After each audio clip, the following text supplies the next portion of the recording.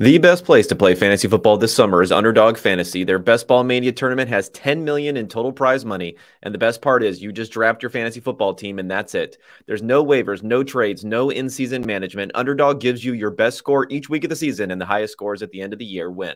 The champion best ball tournament team from last year was drafted in June, so there's no time like the present to take a shot at a million dollars with Underdog Fantasy. Plus, Underdog is going to double your first deposit up to $100 when you sign up with promo code PFF. And with that promo code, play $10 and get a free PFF subscription. So what are you waiting for? Head to Underdog Fantasy now or the App Store. Play $10 with code PFF and draft your best ball mania team today.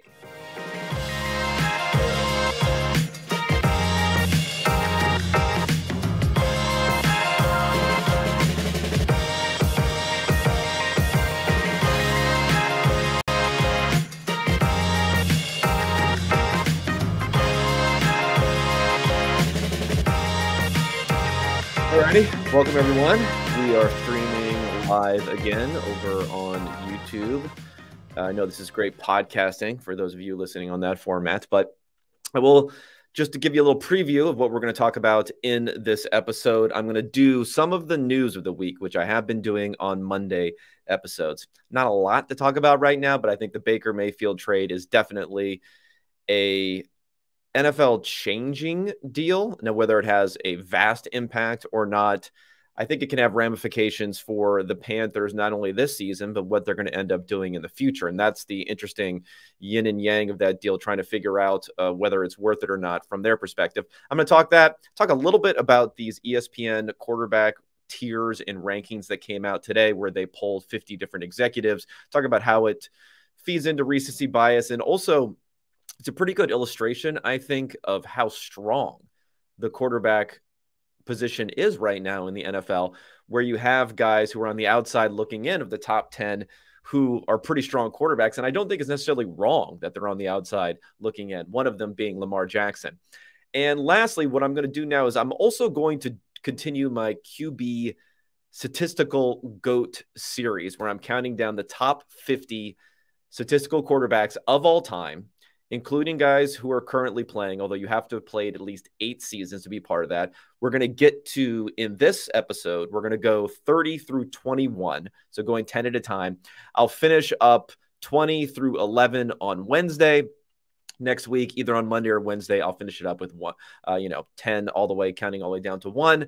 And this week, there are going to be some recently retired guys and a current quarterback finally, we haven't really had many of those in the 50 to 30 range, but now we're going to get some of them here. We got some older guys too. I'm going to integrate not only some of the pictures with the rankings that I've had on here, but also try, try to throw some little YouTube uh, stuff that I that I that I ripped off here and some clips into the mix here so you can get a flavor for some of the older quarterbacks since the quarterbacks that we're going to be talking about this week uh, you know go back with some guys who were playing even back in the 50s uh, they may not have a great feel for how they looked at least when they were on the field so that'll be like the second two thirds of the episode, but the first third we're going to hit on the news of the week. So let's talk Baker first.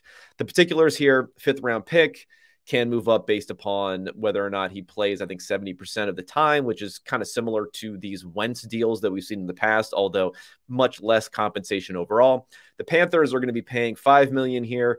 Baker is deciding to eat a few million, which is a little bit surprising, although I get from his perspective how he wants to get things done now. He wants to go to probably the only team in the NFL other than the Seahawks that he would have a a pole position, a way to be the starter come this season and rebuild his brand and his value going forward. So yeah, he's giving away a few million, but it's all guaranteed. So he's actually giving away money that he was going to get paid no matter what there. And then the Browns end up eating the rest of this. I think the Browns played this as well as they could, uh, being that once they were in on Watson, the relationship with Mayfield was basically dead. Uh, they had Jacoby Brissett there. There was not going to be a repair there. And even so, I'm not as down on Brissett as some others may be.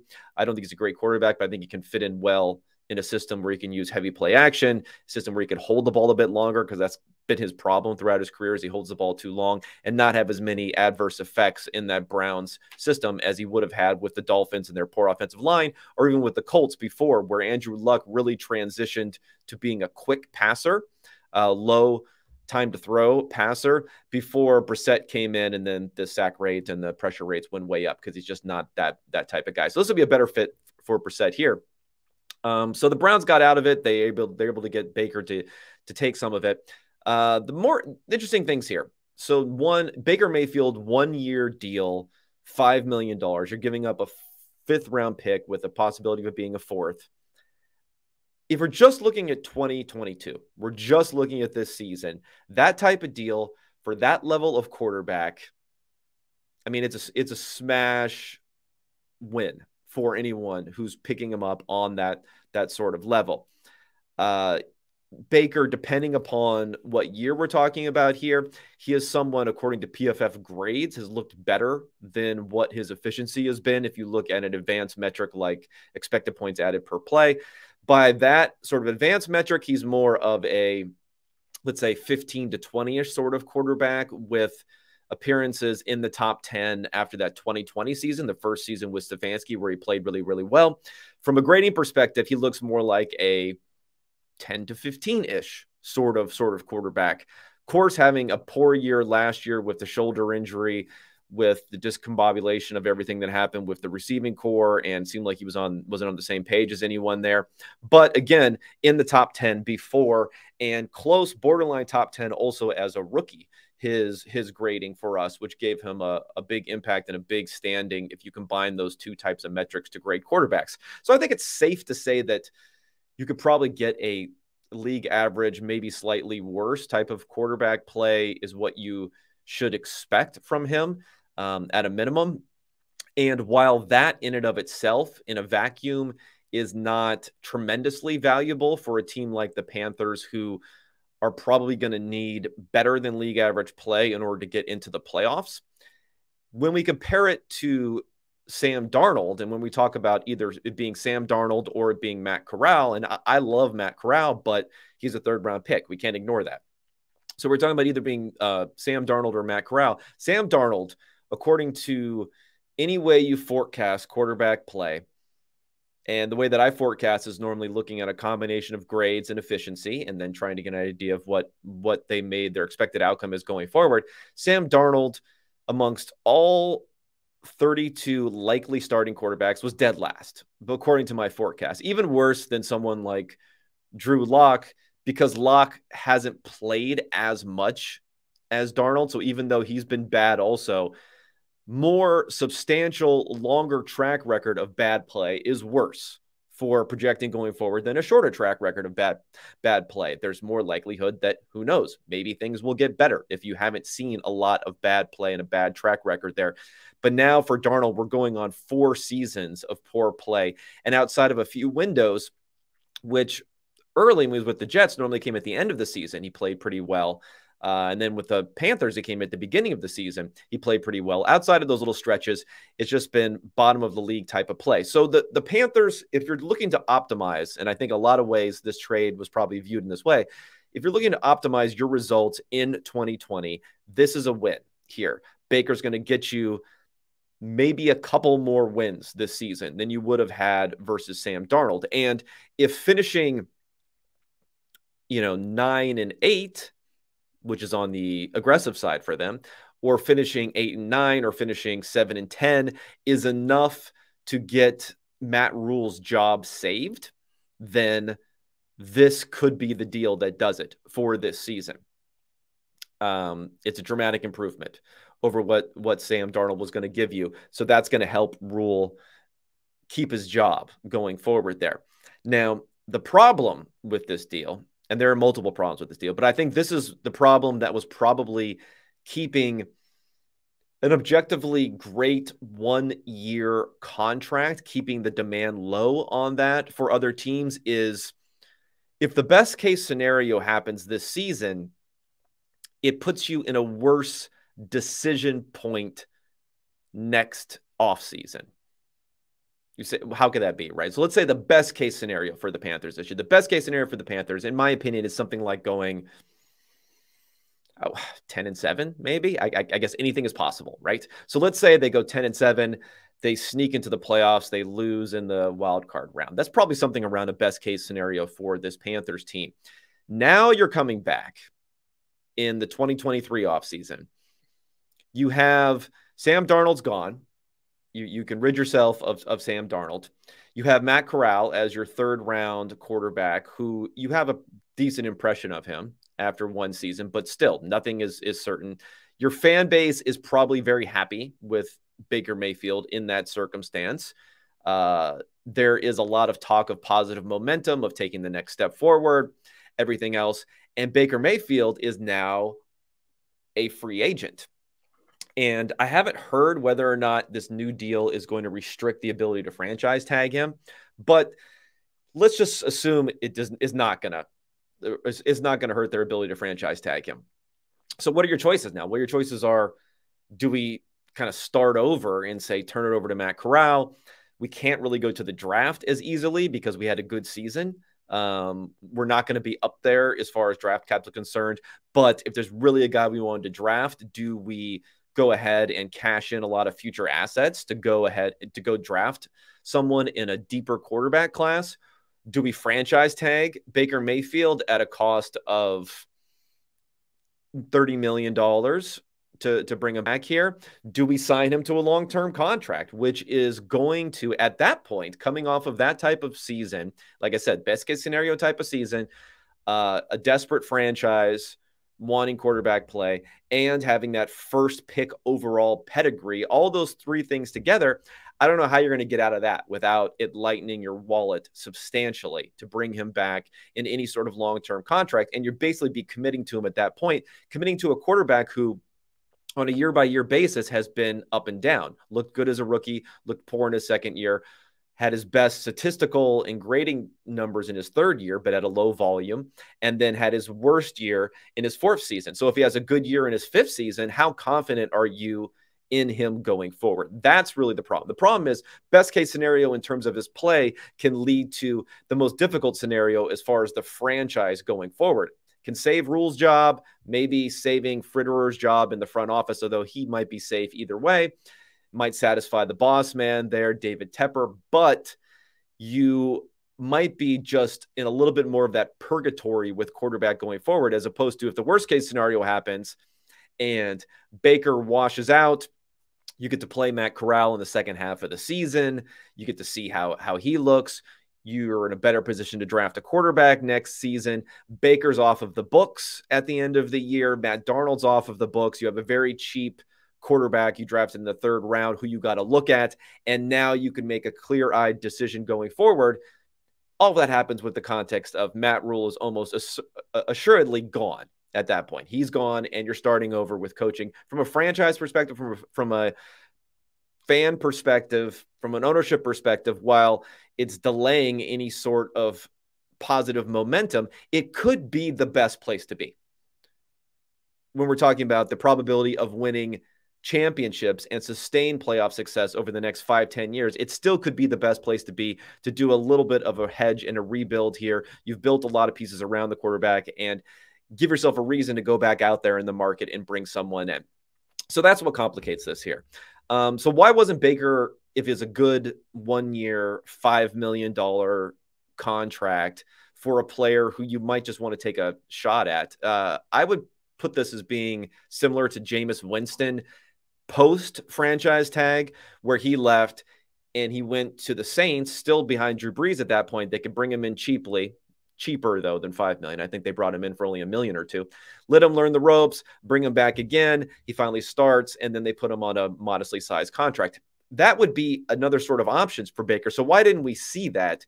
Maybe the Green Bay Packers looking at something like that. I don't know about you, but I'm not very convinced on Jordan Love's future for success. Maybe the Tampa Bay Buccaneers looking at something like that.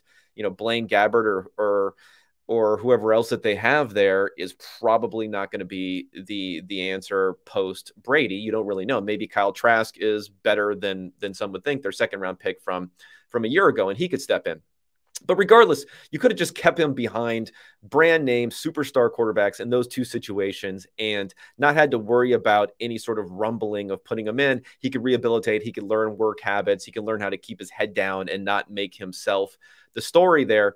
So I think those could have been situations, but doesn't seem like he was he was going there. Now, for anyone else in the NFL who may want to develop someone and have him as a backup, I think there's almost this problem where if your quarterback takes up too much attention, too much air out of the room, too much media attention, and it's also someone that fans may clamor for a little bit earlier. Sometimes having a better backup quarterback, even at a cheap, cheap-ish five million dollars a year, can be something teams don't want to do. I mean, people did not want to bring in Cam Newton because of the presence that he had and, and he, he might have there. I mean, I think to some degree, although obviously the Kaepernick stuff was mostly about the um, the protest and his toxicity that he was perceived to have based upon that. But even then, he's someone you bring him in as a lot of attention. He has a high level of play. He's someone who has gone to a Super Bowl in the past, and then he's almost too good to be a backup.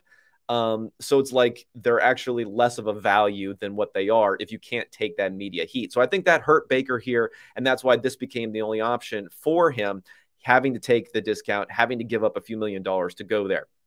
Um, I think this definitely increases the Panthers' chances a lot to potentially do something and win the division this year. It's just next year is going to be the difficult thing for the Carolina Panthers. All right, next thing I'm going to talk here is on ESPN came out with quarterback ranking tiering where they talked to 50 different executives and they went through and ranked. All these different executives gave their top 10 quarterbacks and then they compiled all that aggregated it and gave us the good information on here. I know well what do we need? Do we really need more quarterback ranking talk? Of course not but i'm going to do it anyway. Only shortly though only only briefly here to just check in on the recency bias of what's going in and how these rankings are are flowing around. I always think that stuff is the most interesting to me so for those of you who do not have ESPN Plus, do not have access to this article by Jeremy Fowler, I'll I'll let you in on what it says here. So the number one quarterback this year now, according to the compiled rankings here, is Aaron Rodgers. Uh, the lowest ranking he had was five. His ranking last year was number two. So what's weird about Rodgers is I thought it would still be Mahomes here, but I'm not against Rodgers. It's funny how the the arc has really changed on his perception in a way that he's not the default, you know, automatic number one quarterback in the NFL, despite the fact that he's won back to back MVPs. Yet I used to get a little bit annoyed when he struggled in 2015. He had a bounce backish, pretty good season in 2016. He had a shortened but poor season in 2017. Uh, 2018, 2019, he was okay, you know, not great. And despite all that, he didn't really start to fall off of people's radar. Uh, Mike Sando does a very, who's now with the Athletic, who used to be with ESPN, does a very similar piece to this, where Rodgers was not falling out of being number one or maybe number two until the leading up to the 2020 season. That's when Rodgers start finally started to fall. He would fall. He fell below Mahomes. He fell below Russell Wilson. Russell Wilson was a very hot on him at that point in time. Um, so he started to fall at that point, which of course was the worst possible timing because then that led directly into his back to back MVP season. So Rodgers still doesn't have that glow around him, though. For the fact that he's not a slam dunk number one overall guy coming off of back to back MVPs shows you that either he's lost some of that glow or we've just seen the quarterback um, competition stiffen so much with Patrick Mahomes as being the next guy. And Patrick Mahomes is second on this list, lowest ranking also of five. He was first last year. So he slipped a little bit. You know, nothing that interesting to me with these two. Josh Allen is third. I've heard Allen being ranked first by people this year, which I think is more of a trying to say something controversial than maybe what is really justified at this point. But Allen comes in third here. He was fifth in last year's ranking. So after he had that one good season, in 2020. He did enough, obviously, last year to move up a couple more spots. Uh, let me see who else we have. Brady is fourth. He was third last year, so he fell one spot. And then those are the only, uh, these top four guys are the only ones who were ranked in the top 10 by all of the 50 different executives. These are the only four quarterbacks Rodgers, Mahomes, Allen, Brady. Those four made it into the top 10 for everyone's rankings. Everyone else on this list was left off of the top 10 by at least somebody. Why? I don't know, but you know, they were. Uh, fifth, and this is recency bias coming out here. I know Bengals fans hate me because I have to continue to talking about, you know, how the Bengals were a little bit overvalued last year. Although I think they're going to be a better team this year, better team this year. Not necessarily, you know, better results. It's going to be tough to beat going to the Super Bowl. I don't know, but they're going to be a better team this year. But Burrow being fifth here. Mm, last year, he was not in the top 10 after that rookie season. It's a little bit surprising to me um, vis-a-vis someone like Justin Herbert that he would be a couple of spots higher. Spoiler alert: uh, Justin Herbert is down at seventh here, and it's not that you know it's not an egregiously high ranking. If Burrow was ranked above any of the top four guys, I think we could say it was egregiously high here. But he's definitely getting a little bit more of the benefit of the doubt and a little bit more of that Super Bowl shine than what was probably justified. Great PFF grading, efficiency by expected points. You know, not quite as good as some of these other guys. Matthew Stafford is six. And what's interesting about Stafford being six is he was six last year. So he had this Super Bowl winning season. He was number one in the NFL in his efficiency and expected points added. He had this huge jump where he had been a accumulator, volume passing accumulator, but not a highly efficient guy before he legitimately jumped, but yet he didn't move in the standings here, which shows you how much of that was built into his rating last year, which I thought was way, way too high. But, you know, Stafford dunked on me all season long, and uh, props to him for doing it. Uh, he's still at six so far this year. Justin Herbert is seventh, and again, it's it's marginal, but it just seems a little bit weird to me that maybe he wouldn't be a little bit higher right now. I mean, I, I think there's an argument for Justin Herbert potentially being the number one guy next season. Like I could kind of see that if he really has a gangbusters year this year, him moving all the way up to number one. I don't I don't really see that for anyone else. I mean, maybe Burrow, I guess you could say, but I, I don't really see Burrow having that high end outcome as a possibility the same way we have Justin Herbert. Because remember, Herbert has basically every single passing record now after two seasons. He was the rookie of the year. Yes, they didn't make the playoffs, but they added a ton of talent there in San Diego. I mean, at San Diego. I, I can't believe this happening two years after the way in Los Angeles that is gonna is gonna put him there. So I thought that was a little bit interesting. Russell Wilson down to eight. I mean, you can't really argue too much with that. He was four last year, and if you went to the year before, like I mentioned before the 2020 season, he was often seen as two or like a one B to Mahomes' is one A. So he has fallen quite a bit. Uh, Deshaun Watson put in here at nine. Now, a lot of people were saying in reference to Lamar Jackson being off this list when I asked you know, who are you going to replace him with? Because there are just a lot of good quarterbacks now. People are saying, oh, Deshaun Watson. It's like, okay, I get it. Like, you don't want Deshaun Watson as part of this list. But as long as he's in this list, he he's falling, he falls in these weird categories for people because he's being included in these in this list. Yet there's still, you know, this negative association, obviously, with everything that's going on with him. And, you know, I've talked ad nauseum about that sort of stuff. And again, we have to look at these things. We have to be able to compartmentalize sometimes when we're talking about a pure football standpoint. So, from a pure football between the the lines, you know, when they, when he gets onto the field, you know, nine is too low for Deshaun Watson. He's probably more somewhere in the three to six range, but you get this squishy thing where if he's included in a list, people are baking in this other stuff to it, and then he ends up being nine where he should be three through six. You know, just excluded from the list, I would say, in a lot of these circumstances, because no one seems to be able to really rank him properly right now um, with everything else that's going on here. And then Dak ends up being 10 where he was seven last year. Again, Deshaun Watson was not in last year's rankings because of everything that was that was going on. So, honorable mention Lamar Jackson it's, it's one, this shows you how strong the quarterback class the quarterback class is and everyone in the NFL right now is that like I can't really argue that this is a a grave misjustice not having Lamar Jackson in the top 10. I mean, is he better than Dak? Maybe. Is he better than Russell Wilson? No. Is he better than Justin Herbert? No. Is he better than Matthew Stafford? Maybe. Is he better than Joe Burrow? Probably not. So, like, there's only a couple people you can maybe substitute them in, but it's more like a coin flip type of exercise than anything else. Okay, the recency bias thing here, and again, I'm going to be hammering on this. Raiders fans, Bengals fans are not gonna are not gonna like me this season. But Derek Carr now beating the next honorable mention here. Like, what's what's going on with with the Derek Carr thing? We we don't have to think of him as a top ten quarterback. It's, it's like I get it. He had a good year. Um, the team had a good year, more than Derek Carr even having a good year. It wasn't an outstanding year for him. Uh, he had a career high number of yards thrown, but then again, 17 game season. You know, everything else he he completed some more deep balls, but that's notoriously uh, high variance type of thing. The recency bias definitely shoots out with Carr here and where he is on this list, being the second honorable mention and above Kyler Murray, who's who's next on here as an honorable mention. And Murray's sneaky undervalued here. I mean, let's remember the first six, seven games of the season last year, he was looking like an MVP candidate. So, like out of these honorable mention types, Lamar Jackson obviously has MVP upside. Kyler Murray has MVP upside. Derek Carr, I'm sorry, does not have does not have MVP upside. Although he did get some MVP votes back in uh 20 2014, 2014 or 2016. I can't remember which one, but he did get some MVP votes in the past. And then I also thought the funny thing here was the also receiving votes. It just has Kirk Cousins and it has no write up. Like they decided we're not even gonna we're not gonna we're not gonna dignify Kirk Cousins with a write up.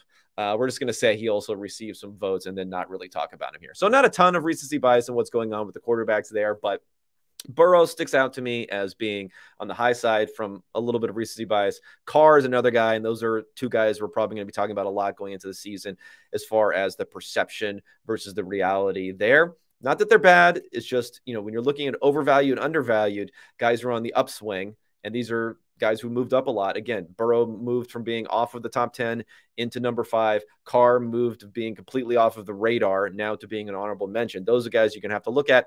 And then the guys who have potentially fallen too much. I mean, maybe someone like Lamar Jackson, but I'm looking more at Kyler Murray as a guy who could break out this season. We'll see if he gets a contract or not. I think he's deserving of it, but he isn't viewed as the stability and the stable quarterback play that some of the other young quarterbacks are, where I think he kind of he deserves to be in that bucket.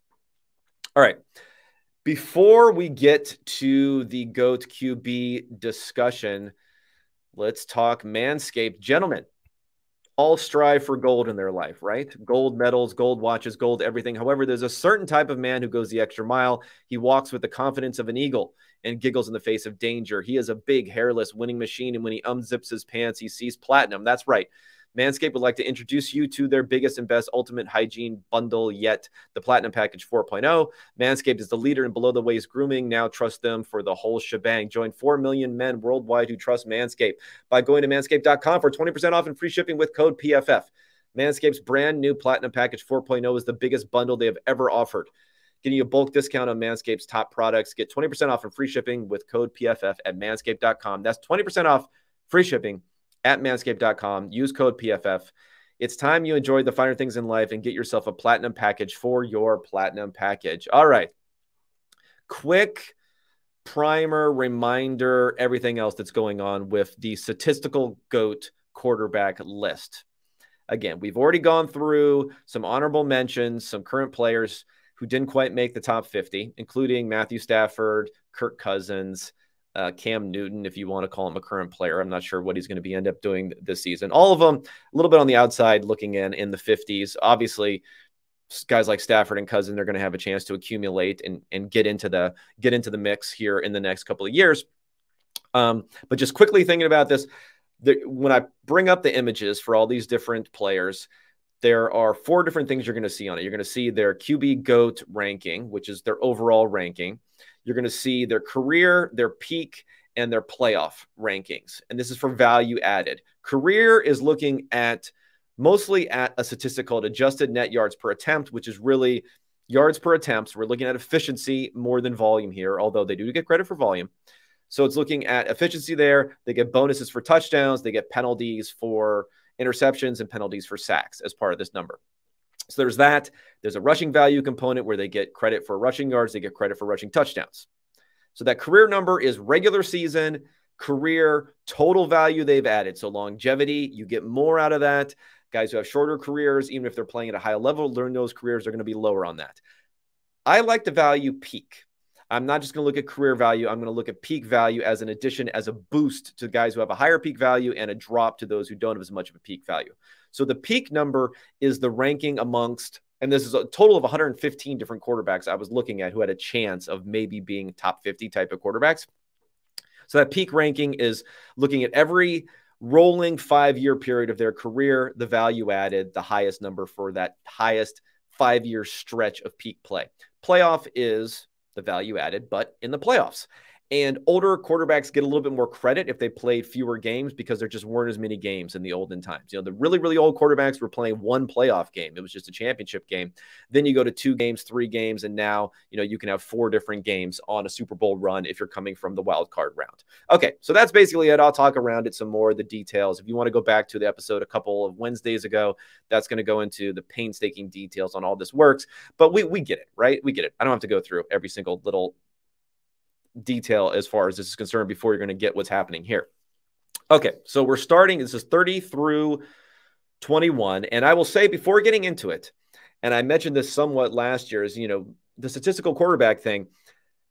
You know, all stats don't tell the whole story. You have to have context. You have to be able to watch them. You have to, you know, know their surrounding talent, this and that. Yes, definitely part of it. But again, by just scraping a bunch of data from Pro Football Reference for all these guys, quarterbacks going back to the modern era. So, got anyone who played the majority of their career in the late 1940s to present. Um, just doing that, just looking at their value that they've added over league average play. That's all with my little formula 60% of it is is the career regular season 20% is their peak during the regular season 20% is playoffs just doing that if you look at the top 25 names, and we're going to, some of them will be part of today's episode, the top 25 names, there's only one player who is currently eligible for the Hall of Fame who, who ranks in the top 25 who is not in the Hall of Fame. I'm not going to spoil who that is, but there's only one player. There are some who are not yet eligible for the Hall of Fame because they re, they retired recently. Um, who might not or, or still playing who might not make the Hall of Fame, who are not locks for the Hall of Fame. But there's only one eligible player who did not and probably will never make the Hall of Fame unless they get in as like a senior status later. Um, so that shows you how much the stats comport with people's opinion. You know, whether we like it or, or not, efficient quarterback play is what comes through as far as quality play for quarterbacks. So being able to harness these stats while they're not correct versus people's opinions, it does give us a great check on what we may be thinking, maybe some guys who are over undervalued in their historical scheme and effect. All right. Some of these guys a little bit older, some are not. Uh, maybe be educational for those who aren't, for, for those who are a little bit older. But we're going to start with number 30 here. And that is Daryle Lamonica. For those who don't know, Daryle Lamonica, he has probably the best quarterback nickname of all time. He is known as the Mad Bomber, Daryle Lamonica, and he was a Mad Bomber. Uh, he lived up to that nickname. 6.3% career touchdown rate, which is one of the highest ever. 15 yards per completion, both top 10, 10 numbers of all time. Uh, in 1967, he led the NFL in touchdown rate and interception rate during the same season, showing how they had that vertical downfield offense with the Raiders. And for counting stats, he also led the NFL in touchdowns and interceptions in 1969, throwing it quite a bit there. Uh, let's talk accolades first for Lamonica. Two time All Pro in the AFL. This is back when there was a separation between AFL and NFL as far as he's two time first team All Pro, one time AFL champ but he that that AFL championship was back when the AFL and the NFL were separate. So then they played together in the first Super Bowls, and he lost the second Super Bowl uh, to the Packers. He was also 1967 AFL Player of the Year. So I don't know how you want to rank that versus being an NFL MVP, but MVP type of play. So he played from 1963 to 1974. From 63 to 66, he was with the Buffalo Bills. He was drafted in the 24th round by the Bills. And he didn't start basically the entire time there. Uh, only served in relief or spot starts for those first four seasons before being traded to the Raiders.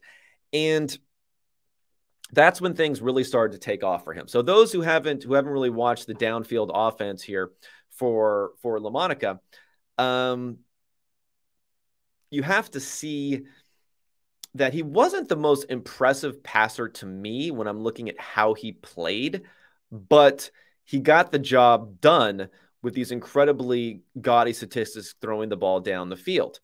Uh, let me let me let me play some some stuff here for for Lamonica. So you can see that he was just known for chucking the ball. basically at all times in this Raiders offense. And that's why the Raiders are known for the longest time, especially when Al Davis was being there, as being obsessed with speed. Because starting with Lamonica and a bunch of other quarterbacks there, they were known for just being a big, big play offense. So, what are the things holding down Lamonica? He is not in the Hall of Fame. So Lamonica is not in the Hall of Fame despite being 30th on my list. So what are the things that are that are holding him down versus some others? Okay, well, some things that are holding him down.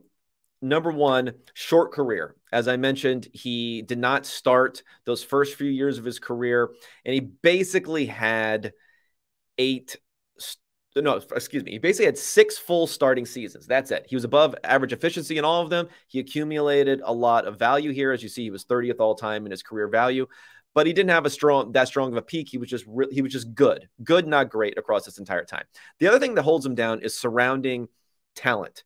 So the offensive line, maybe the greatest offensive line in NFL history, because not his entire career, but the second half of when he was with the Raiders, Art Shell came there to join Gene Upshaw and Jim Otto. So Gene Upshaw, guard Gene Upshaw, tackle, left tackle Art Shell, and center Jim Otto. Not only are these guys Hall of Famers, they were all selected to the NFL 100 team.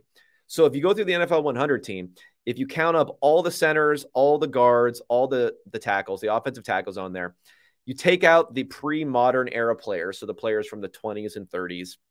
There's one of them in each one of those categories. There are 15 total names there. 15 total players made of offensive linemen, modern era players made the NFL 100 team. Upshaw, Shell, and Otto all made the NFL 100 team. So that means one out of five, you know, quick math here 20% of the NFL 100 offensive linemen he played with 20% of the NFL 100 offensive linemen. That's a pretty awesome offensive line to have that gave him lots and lots of time to throw the ball down the field. Secondly, if we look at his receivers, he played with Hall of Famer Fred Biletnikoff. Um, obviously, the, for those who are familiar with the award given in college for the best college collegiate wide receivers, named the Biletnikoff Award after Fred Biletnikoff. Uh, and he also had a couple of monster seasons from Warren Wells. Warren Wells is a dude that I didn't know about at all before. But you look here, he only really had three NFL seasons where he started. And in those three NFL seasons, he led the NFL in touchdowns twice and in yards once. Wells in 1969 had 1,260 receiving yards and 12 touchdowns, only 47 receptions. So he was averaging 27 yards per reception. Okay. Uh, and this is all in 14 games he did that. So he could even been like a borderline Hall of Fame talent, but he only really started for three years because he was actually drafted into the Army and ended up missing time there. And when he came back, he had legal troubles, assault issues, got arrested, uh, drug and alcohol problems, and then washed it out in the league. But for a while there, Lamonica had this, you know, unholy supporting cast that was just that that couldn't be stopped of perhaps the greatest offensive line ever, along with Biletnikoff and Wells, these amazing receivers who could get open down the field. So I think that is probably also that is probably one of the reasons why he could be a little bit overvalued by his stats here. And he also did not make the Pro Football Hall of Fame. Uh, so Lamonica, for me, would I have him in or out? I'm fine having him out of the Hall of Fame, but he's definitely someone who probably deserves a little bit more recognition than what he's been given over his career. Okay, here's a guy that you all know about here. Tony Romo comes in at QB GOAT 29. His career value is a little bit lower at 32. His peak is higher at 25. And his playoff value, as we all know, especially early in his career, not so great. He only ranked 56th in his playoff value added here. Okay, so what can we say about Tony Romo? Romo's been a controversial guy. He is in some ways similar to Lamonica in the fact that he just doesn't have a lot of playing time, especially when we're talking about playing in an era with quarterbacks like Peyton Manning – um, Tom Brady, Ben Roethlisberger, Drew Brees, Philip Rivers, uh, all these different guys, even Eli Manning, if you want to get to the Eli, Eli Manning discussion, who played a very long time, started for a very long time, accumulated for a very long time. Tony Romo did not do that. Tony Romo was an undrafted free agent.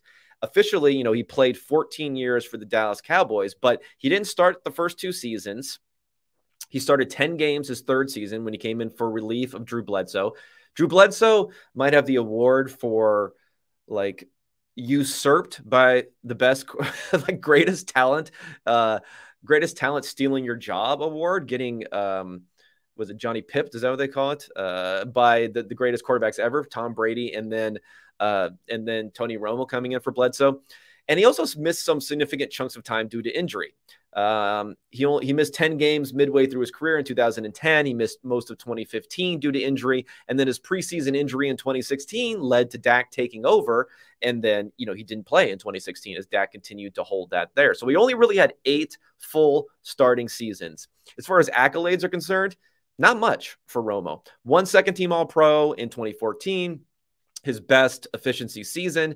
He was tied for third in the MVP MVP voting that year. He was tied with uh, DeMarco Murray in voting that year behind the MVP Aaron Rodgers, and JJ Watt was second in MVP voting in 2014. So consistent, near elite play without being the best quarterback any season. That's who Tony Romo was. But if you want to talk about peak here, and I said his peak is a little bit higher. So if we want to look at quarterbacks, again, he only played the, he only started for the eight seasons, but any quarterbacks who had efficiency that was about one and a half standard deviations above normal. It's kind of a weird way to describe it, but there's this number called adjusted net yards per attempt plus, where it rates it on a scale. Uh, 100, it's scaled at 100, where 100 is is is even. 120 is about one and a half standard deviations above normal. So if you have that 120 cutoff point, so you're so you're about one and a half standard deviations above normal quarterback play. So that means you're roughly in the top 10% ish of quarterback play for, for those seasons, top 10, 15% of quarterback play. If you look at quarterbacks who half of their seasons hit that mark, half of their starting seasons hit that mark, there are only four Roger Staubach, Peyton Manning, Steve Young, Tony Romo. That's it. But again, not did not have the longevity. Uh, if you want to look at Tony Romo's rankings by season, by these starting seasons, by this adjusted net yards per attempt, which, again, my opinion, the best measure that you can look back on, he was fourth, fifth, seventh, fourth, sixth, 14th, so one bad year, ninth, and then back up to, to second again. Um, looking at the components of quarterback play, you know, yards per attempt is the foundation, right? He's elite. He was very elite there, led the NFL twice. Uh, also elite touchdown percentage, leading the NFL twice. But gunslinger, very apt for Romo. Below average in interception rate, or worse, I should say, the normal in interception rate most of his seasons. But if we look at guys with yards per attempt, career yards per attempt in NFL history, it's Otto Graham, Norm Van Brocklin, Steve Young, and then Tony Romo. Um, it's very interesting to look at his win probability added curves too. There's great work by Benjamin Morris, who was working at 538, where he would show, you know, based upon the team's current win probability, like if they were down a lot, let's say they had a 10% win probability, what would the what were their actual how often did they actually win versus those win probabilities Romo had this very strange curve where when the team was leading and they had a very high win probability he wasn't that good he was about average in those circumstances when he was way behind he was phenomenally good at winning games when his team was way behind uh, Romo was also a mobile quarterback, so that adds it to it. Uh, but it was mostly within the pocket. You know, he did not rush a lot. He only had 620 yards and five rushing touchdowns in his career. Six total playoff games. This is what hurts his playoff number. He only won two of those games. He had okay efficiency in the playoffs, but it was worse than his career average. His best run was in 2014, ending with the famous, you know, Dak. I'm not Dak caught it. Uh, Dez caught it game in Green Bay, but he only had 19 attempts in that game versus 35 for Rodgers. That's kind of a crime against Romo there. So let's let's hit the big question here. Does Tony Romo belong in the Hall of Fame? I think I had been tricked a little bit into overstating his Hall of Fame case because of the contrast to Eli Manning. Because this Eli Manning discussion, who again, according to my statistical GOAT rankings, is ranked 61st, I think. So he's, you know, out of the discussion statistically for being in the Hall of Fame. So because of that, you look at Tony Romo, uh, you know, they're in the same division. There's a lot of ill will, to say the least, between maybe some Cowboys fans and some Giants fans. that you would say, oh, you know, Eli Manning doesn't deserve to be in the Hall of Fame. So therefore, I'm I'm going to pump up someone like Romo, who's a very big contrast to Eli Manning, as someone who didn't have the Super Bowl success, someone who didn't have the longevity, but had peak play. Yeah, I think that was a mistake, though. I think it was almost, I was buying into that a little bit too much. There's just not enough there for Romo. If he had the longevity or the playoff success, a little bit more playoff success, or, you know, just had a little bit more of the higher end accolades, like an MVP or something like that, maybe you can make the case for him. For me, just not quite enough to get in. So I would say lean no on Romo, but clearly a high end player. When he was at his peak, he was one of the best to do it out there. He just played in an era, which also makes things tough, where again, you're playing with Manning, you're playing with Brady, you're playing with Brees, you're playing with the end of Favre's career, uh, all these types of quarterbacks. It makes it tough to stand out in that sort of era, also. Okay. Uh, 28, Kenny Stabler, another great nickname here, the Snake, Kenny Stabler. Stabler is in the Hall of Fame. Uh, he is also on the all decade team that the Hall of Fame puts out for the 1960s. His other accolades, including Super Bowl championship, 1974 for MVP, where he also was first team All Pro at quarterback. And in 1976, he was second team All Pro and third in the MVP voting and he led the NFL in net yards per attempt in both of those seasons. Another one was somewhat of a gunslinger here. Uh, he is notorious, absolutely notorious for not putting in much preparation. Some people love that. Some of his teammates love that. You know, party hard, play hard, work work not that hard. what it came to before the game for Stabler, but then work super hard during the game. One of the most talented guys out there. Didn't have a rocket arm. Um, and I think sometimes when you look at left-handed quarterbacks, they appear to have a little bit not as strong of an arm as they actually have sometimes. But this dude was an athlete, like a crazy type of athlete here. He was um he averaged he averaged 30 points per game uh, as a basketball player in high school. He was good enough as a left-handed pitcher that he received minor league contract offers from the Astros and the Yankees, so he could play. And he went to Alabama to go play college uh, football instead for legendary coach Bear Bryant. But again, he was someone, you know, who got kicked off the team at one point and then reinstated. He's he said that when he was in high school, he got kicked off his team and then reinstated. He had lots of different violations and probably would not sit well with an up, you know, with a with a tight button up type of coach right now in the NFL. But back then things could could be a little bit better. Um, so he has the high end. He has the high end play to have gotten the MVP voting. But you know what? He also benefited greatly from a lot of the stuff we talked about with Daryle Lamonica earlier, where he had the same offensive line. I mean, Jim Otto was near the end of his career, Hall of Famer Jim Otto, but Upshaw and Art Shell were there for basically the entire prime of Kenny Stabler. So he had two awesome, awesome players there. He had Fred Biletnikoff, Hall of Famer, at the end of his career, but fellow Hall of Famer, although Cliff Branch was a little bit of a late addition to the Hall of Fame, so he's kind of like a second tier Hall of Famer. Cliff Branch did come in there. Um, and he was a first team All Pro in 1974. And then he had Hall of Famer Dave Casper at tight end. So you have two Hall of Fame wide receivers, a Hall of Fame tight end, and then at least at one point in time, three Hall of Fame offensive linemen. Yeah, that's a pretty. That's a pretty strong supporting cast there for Stabler, which helps support him there. Now, the one thing I want to talk about Stabler almost more than anything else is one of my favorite plays of all time and that is the Holy Roller play. For those who don't know, this is a regular season game between the Chargers and the Raiders. I'm actually I have the, I have the footage here. So if those those of you watching on YouTube, I'm gonna bring it up here for the Holy Roller play. I'm gonna I'm gonna give you some background first, and then and then I'll bring it up. So, uh, 10 seconds left in the game. The Raiders have possession of the ball on the Chargers' 14 yard line, trailing by six points.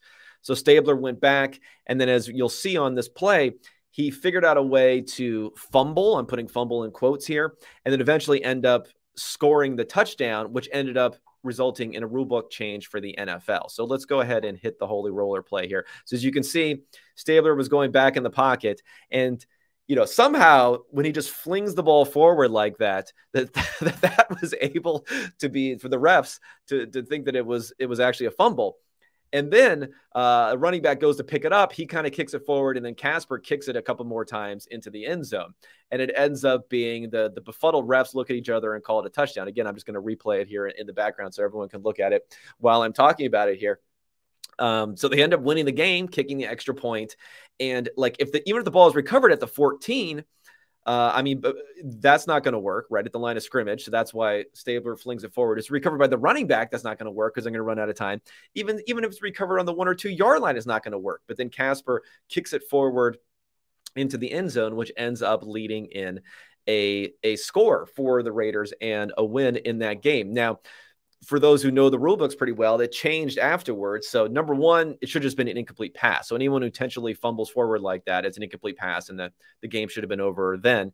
Um, number two, the rules have been changed now so that within the two minute warning, the ball cannot be advanced by any recovery other than by the player himself. So if this happened here and Stabler fumbled it at I don't know what that was, the 16 yard line, and it's recovered eventually in the end zone for is not a touchdown. You put the ball back on the 16 yard line, the clock runs out, and the game is over.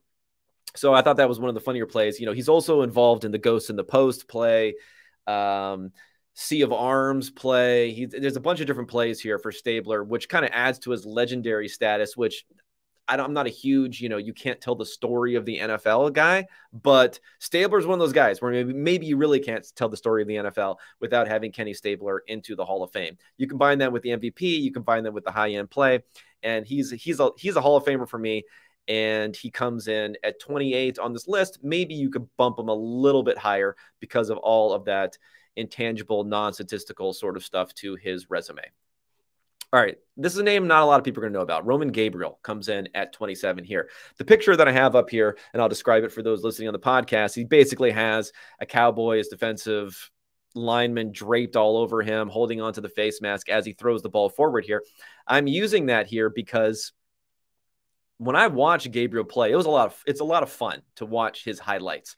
He's 6'5, depending upon who you listen to somewhere between 220 and 240 pounds. He's just a he's just a mammoth of a human being. He was an outstanding player at North Carolina State, North Carolina athlete of the, you know, the century or whatever they they designated him at. He was the number 1 pick in the AFL draft chosen by the Oakland Raiders. And he was the number two overall pick in the NFL draft, selected by the Rams. And he decided to go to the Rams and to the NFL.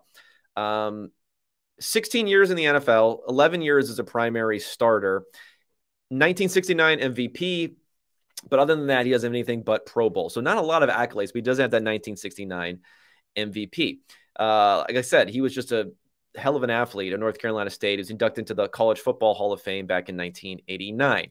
Okay, so from 1962 through 1965, with the with the Rams to start his career, he had difficulty. Gabriel had difficulty securing the starting quarterback job. He would come in and he would play when other quarterbacks were slumping, but he wasn't given the chance to be the man. And that seems to have been a massive mistake because on a very poor Rams team, the 23 starts that Gabriel had in that 62 to 65 range. Again, there, there's it's very inconsistent. The team was 11, 11, and 1. That doesn't sound great, but in all the other 33 games during those seasons where other quarterbacks started those games, the Rams were 4, 27, and 2. So they were putrid, just a putrid team outside of Gabriel, who really was doing everything that he could on that team.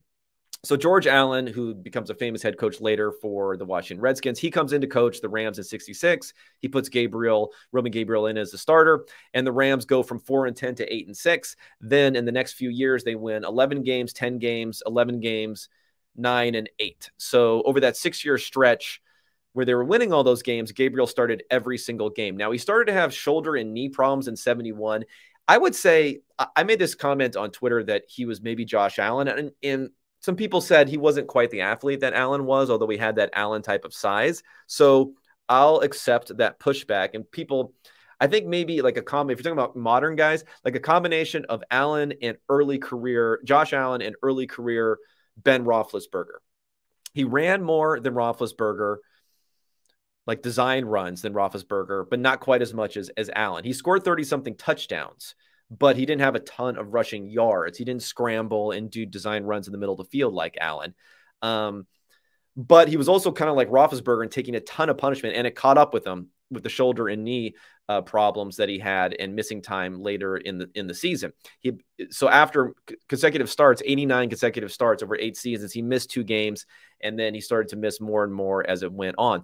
Now he did have a comeback where after he was traded out to the Eagles later on in his career, um, he improved the Eagles team that went 2 and 11 the year before to 5 8 and 1. He was voted comeback player of the year and he just had a massive volume season. He had 200 he led the NFL in 1973 with 270 completions, 460 attempts, over 3200 passing yards, 23 touchdowns while having the lowest interception rate in the NFL. He also had a low interception rate, which reminds me of Josh Allen. What those who might not really know about Allen is Josh Allen is like in his first 2 years he kept his efficiency the thing that really kept his his passing efficiency from not being awful those first two years was not throwing interceptions. He was careful with the ball in that way. He did fumble a lot, but he was careful with the ball in that way. So Gabriel generally had a low yards per attempt, um, but good sack avoidance, good interception uh, avoidance, which gave him a lot here.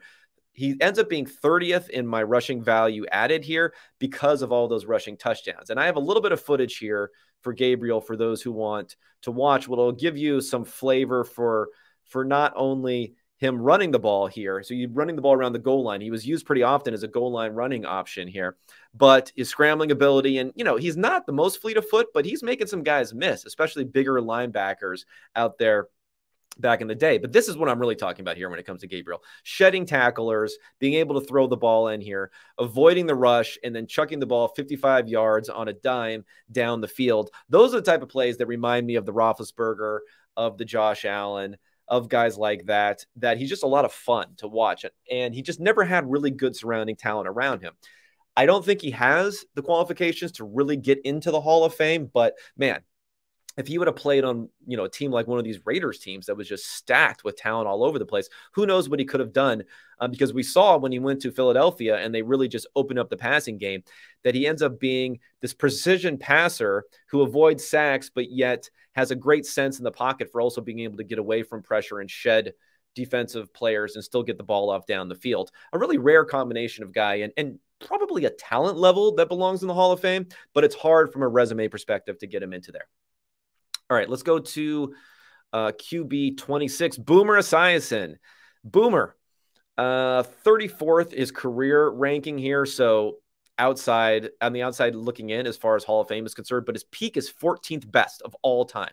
Super strong peak here. Playoffs 71, not so great. He was really bad in that playoffs where they ended up losing to uh, Joe Montana and the 49ers in, what was it, 1984?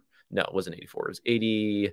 Um, I should have had this in front of me. 88 in 88 to the to the 49ers and um I think his perception's been hurt boomer because first of all Norman Julius Esiason if you want to know what what uh, boomer's real name is I think uh, Norm maybe you can call him I think he's been hurt by the fact that this super high end play that he had when he was with the Bengals. Maybe some people just don't recognize how high end it was. They're not the most flashy franchise there. So he had some super high end play there. But he was he struggled later when he was playing with the Jets and then at the end with with the Cardinals. So I think that hurt his perception as far as being someone who would even be considered to be in the Hall of Fame. And I don't think he's done himself any favors as far as his studio work and broadcasting work. I'm not sure if he comes off as the most likable guy there, also, and I think that may have hurt him a bit um, as far as his perception is concerned out there in the popular world for people who didn't have a chance to see him play that much. But he was the MVP and first team All Pro in 1988. Uh, Bengals went to the Super Bowl that year and lost in the Super Bowl.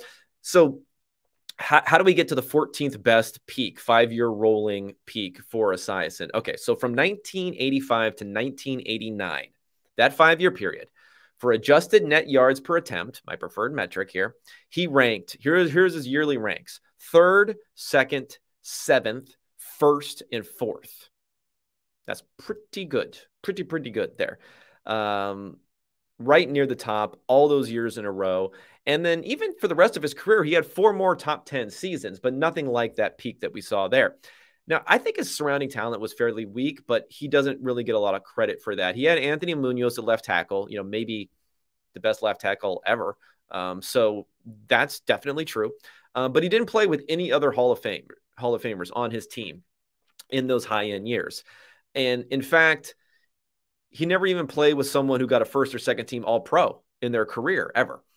Uh, his wide receivers were Eddie Brown and Tim McGee. Tight end was Rodney Holman. These are all guys where he spread the ball all over the field, and they're all getting between 30 and 50 receptions. Uh, the backfield got a lot of hype because of Ickey Woods and the Ickey Shuffle, but not like Icky was a, an outstanding player. James Brooks was probably a better player and also a good pass catcher out of the backfield. And those guys got a lot of attention. But I think we know now that you know those two running backs are not going to make a quarterback great. While he didn't have the strongest arm, and again, maybe it's this left left-handed quarterback bias that we have against there. He was primarily a vertical passer, Esiason, and he averaged around 13 yards per completion during his career. Uh, he was up to 16 yards per completion during his MVP season, and he was also a little bit better runner than most people will remember. He averaged about 200 rushing yards per season during that five-year peak play. That also pushes up his numbers there. Um, I'm fine with him not being in the Hall of Fame, but he's not a laughable case for Hall of Fame, as some people might think. And if he would have won that Super Bowl, you know, MVP, Super Bowl, super high peak play, we're talking about one Joe Montana incompletion at the end of the Super Bowl, even if Esiason did not play well in the Super Bowl. We're talking about one Joe Montana uh, interception that was dropped near the end before that before that final touchdown to uh, to John Taylor. If that happens, Esiason would have the Super Bowl ring, the MVP, and the peak. And that might be enough to really get him into the conversation. As it works now, he is not in the Hall of Fame and not going to get in the Hall of Fame. Okay, top 25. And this is where we're coming into a lot, almost substantially, almost all Hall of Famers here. Number 25, Kurt Warner. Uh, it's funny when you bring up Kurt Warner because trying to get an image of him that it's like 90% this Kurt Warner movie but just I was gonna put the guy on here. Actually, I was gonna put the actor on here instead of Kurt Warner as a joke, but it, wouldn't have been that funny. So um, uh, let's talk Warner here. Somewhat of a controversial Hall of Fame case. I think he's clearly a guy who should have gotten in. Uh, he played from 99 to 2003 with the Rams, 2004 with the Giants, and then the Cardinals from 2005 to 2009. Accolades. He's got a lot of accolades.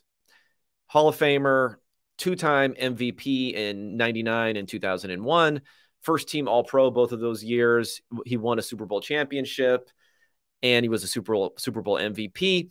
And he's been to two other Super Bowls that they lost. So his peak is kind of understated, like how amazing his peak is by this number that I have here. Because you see that according to my calculation of the five year rolling period, his peak is 24. But if you shorten it up a bit, if you say let's only look at three years for a peak, um, then he really has an incredible stretch because he had an MVP, he had an injury shortened season, and then he had another MVP. And during that time, if you would have just looked at that, he would have been more like a top 10 peak of all time before going to the Giants there. And what hurt Warner is his lack of playing history. Uh, so he only started 12 games, four seasons. Okay, only four seasons. He started at least 12 games 1999, 2001, his two MVP seasons, uh, 2008 and 2009 with the Arizona Cardinals. He was benched quite a few times during his career. The Rams benched him for Marc Bulger near the end of his time there. The Giants benched him for, you know, top pick Eli Manning. And the Cardinals benched him for Josh McCown and Matt Leinart at different times. But he kept on coming back. He kept on coming back. But his resurgence with the Cardinals and, you know, eventually take him to the Super Bowl, people probably see that as something, you know, looking back in the past and don't really realize kind of how shocking it was for a player who had bounced around a bit, always was pretty efficient throwing, but just did not seem to have the confidence that he once did because of all the fact that he could not stay on the field with injuries. Um, and he had, let's face it, pretty amazing supporting cast when we talk about his successful runs, at least at wide receiver. He was throwing to uh, Torry Holt and Isaac Bruce and Marshall Faulk when he was with the St. Louis Rams. And then he had Larry Fitzgerald and Anquan Boldin in uh, in Arizona so I get why his contra, you know, his Hall of Fame selection could be a little bit controversial for some. I think 25th is a good ranking for him. If you had him much higher or much lower, I think it'd be a bit weird. I'm fine having him in there, being that you have the three Super Bowl appearances, you have the two MVPs. That's enough for me. And he gets there on career value, even though he didn't start a whole lot. Getting up to 26 on career value shows you how much he was able to accumulate during that period of time. All right. This is a guy a lot of people are probably not going to know about because uh, he's an oldie. This is one of the, the, oldest guy in this little subset here. Norm Van Brocklin comes in at 24th on the GOAT QB list. His career is the 25th rank, his peaks 32, his playoffs 23. So all kind of in that 20 to 30 ish sort of range there. Uh, the Dutchman is who is what they call Norm Van Brocklin. He played for the Los Angeles Rams from 49 to 57, and he played for the Eagles from 58 to 60. His accolades Hall of Fame, first team All Pro in his final. This both happened. A first team All Pro happened in his final season at 34 years old. Two time NFL champion. Remember, this is before the Super Bowls, so just of the NFL. And he was also one of the 22 finalists for the NFL 100 team, but he didn't make the roster. So that gives you an idea that he has a very high um, perception of him that goes past his stats, is seen as being a a foundational player for for passing at quarterback. He's seen as being one of these 22 finalists for the NFL 100 team. Uh, he's a little slight at 6'1, 190 pounds, but though you have to consider the era for that. He led the NFL in yards per attempt four different times. He has the second best career yards per attempt behind Otto Graham. Uh, and he and he led the league in adjusted yards per attempt twice.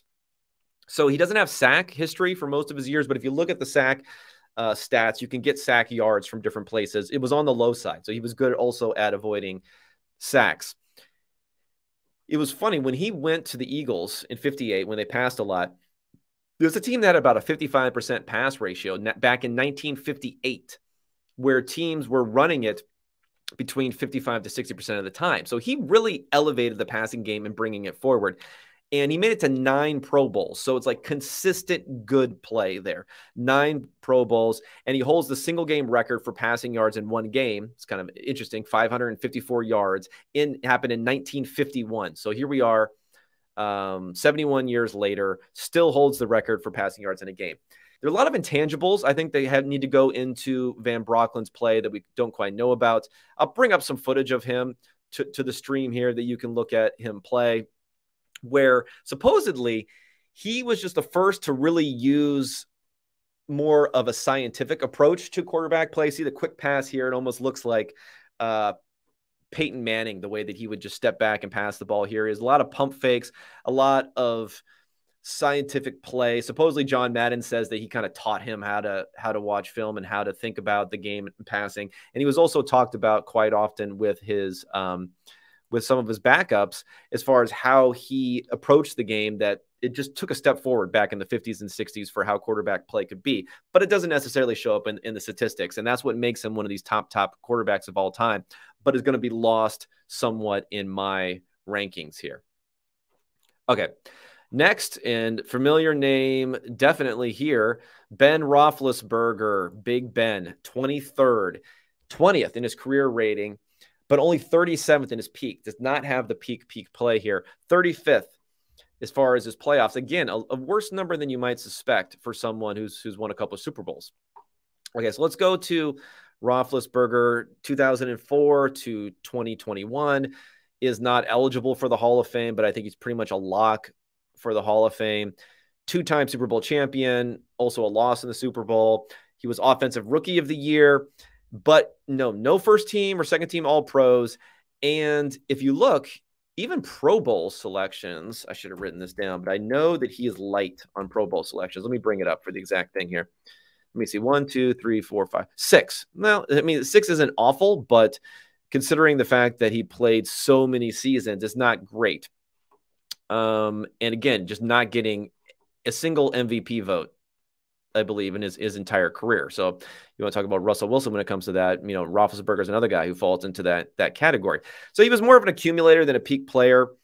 Uh, 14 of his 18 seasons where he was a starter, he had above average efficiency by adjusted net yards per attempt, but he never had the high highs. He had one of the craziest transitions as far as style of play when he went from a low volume downfield passer who took a ton of sacks to later in his career, which maybe a lot of people remember more now, is the fact that he couldn't get the ball out of his hand quick enough these last few seasons, was not throwing the ball down the field, was not taking in any sacks, lowest time to throw in the NFL. He was almost the opposite. And it, and it it didn't hurt his stats substantially, all the sacks he took, but he was definitely using that lever a lot as far as juicing, being able to get the ball down the field there. I mean, it's just crazy to think about Ben Roethlisberger, who never takes, is trying to never take sacks. Now, um, he had a worse than average sack rate in his first eight seasons in a row. And then in the nine of his last 10 seasons, he was better than average sack rate. He led the NFL in sack yards multiple times early in his career. He also twice led the NFL in yards per completion, and then he had one of the shortest average depth of targets near the end of his career. And when you think about the playoffs for him, why is he 35th? Why is he fairly low, despite the fact that he played a lot of, you know, he played a lot of playoff games here. How many see how many playoff games he has here? played in 23 playoff games. So that's a lot. That gives him a lot of opportunity to accumulate value. The issue is his net, his adjusted net yards per attempt during all of those playoff appearances was six versus a regular season average closer to seven. So he didn't step up in those playoff games. He was above average. He generated, you know, some value in there, but he wasn't, you know, an all-time great player in the playoffs, despite the fact that the team played pretty well and they ended up having really good results in the playoffs all in all, I think he's a little overrated, probably putting him at 23rd here on this list. But like I said, he's a lock Hall of Famer. He's going to get in. Uh, first ballot, I have no perception as to what level you need to be to be a first ballot Hall of Famer or not. But Ben will be be close to that.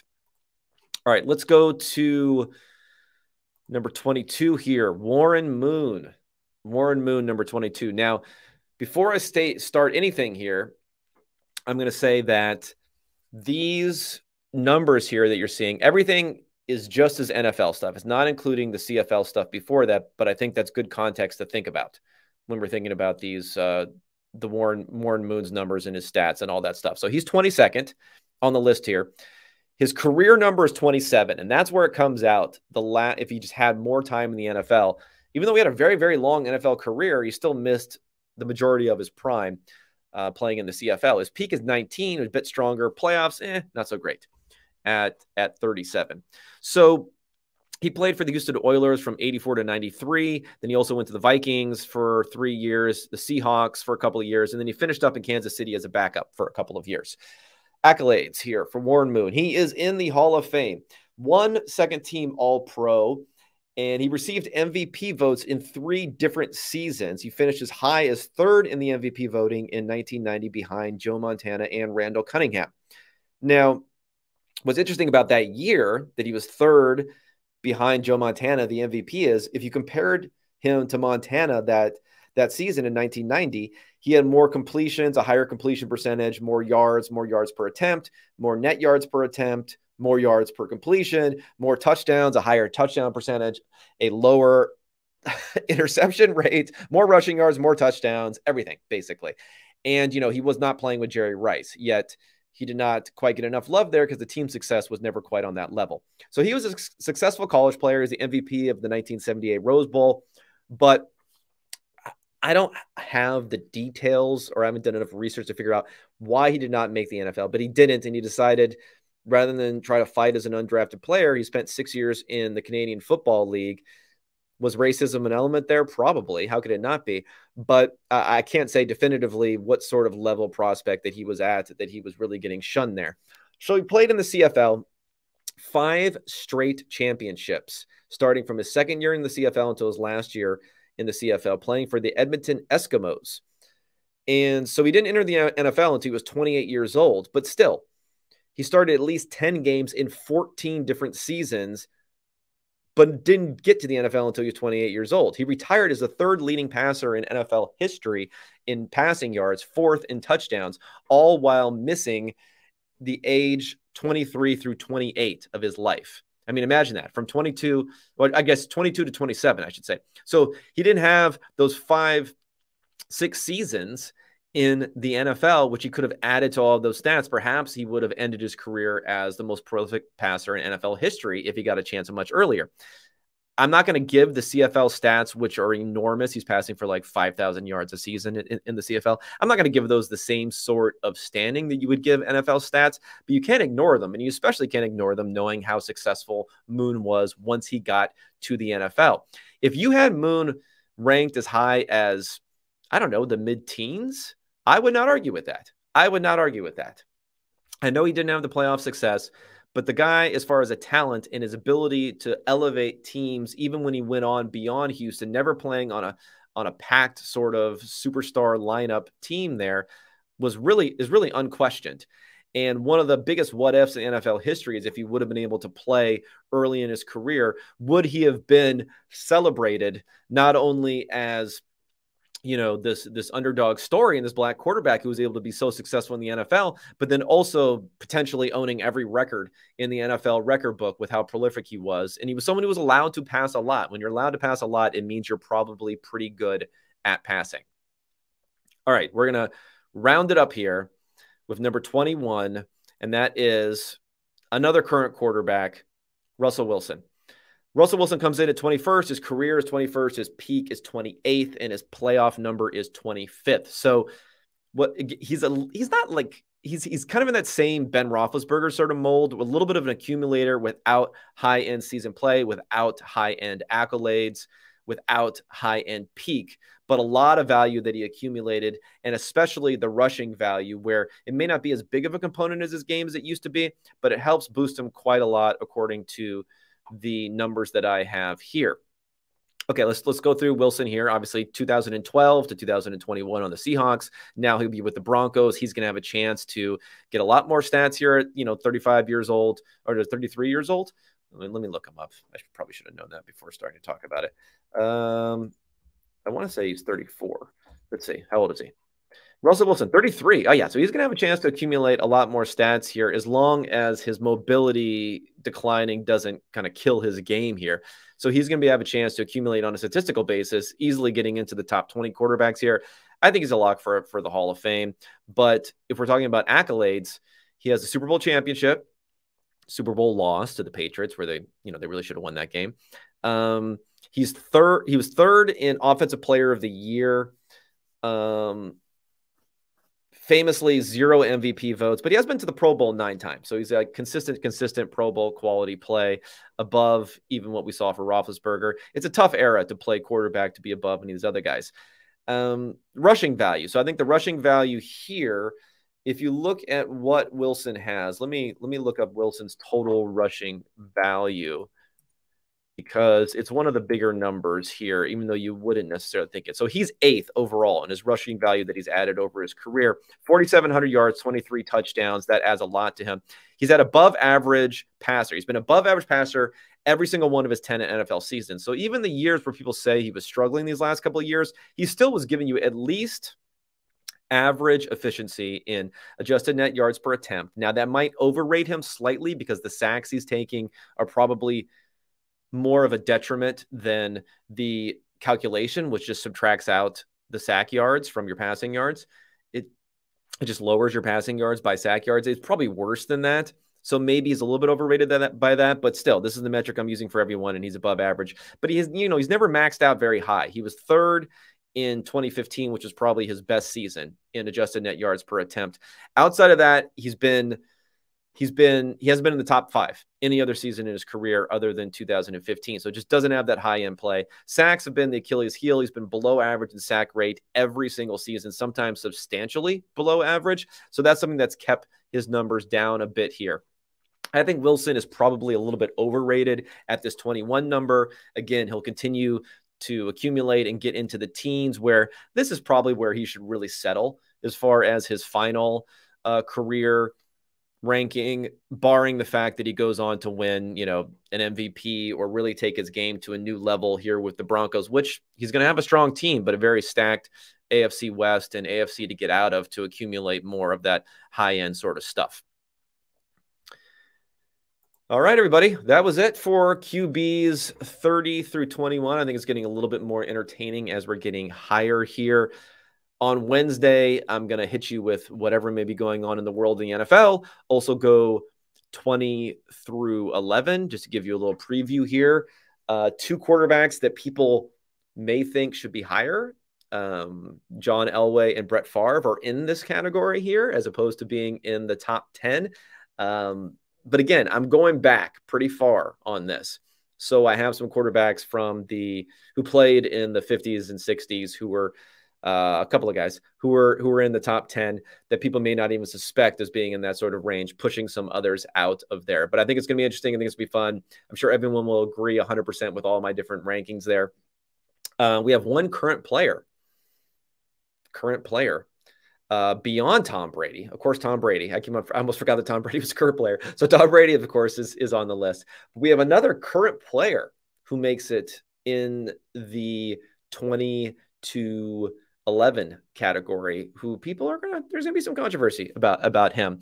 Not probably not being a log for a hall of fame. Couple players who are recent either current player or recent players who are not really logs for the hall of fame but are going to be in that top 20 category later this week well, thanks everyone for tuning in. Go ahead, rate, review the pod. If you want to go onto iTunes, if you want to leave comments on YouTube, I go ahead, I read those, I collect them from mailbag episodes in the future, or you know, I'll shoot you a reply on there too. If you want to tell me how awful my rankings are, I'm just going to tell you, well, you know, that's like your opinion. You know, uh, I'll be like the dude back here who's behind me um, in my studio here.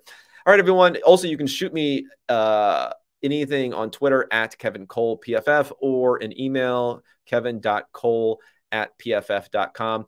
Thank you so much for tuning in. I truly appreciate it. And otherwise, I am going to be talking at everyone on Wednesday. All right. Thanks so much.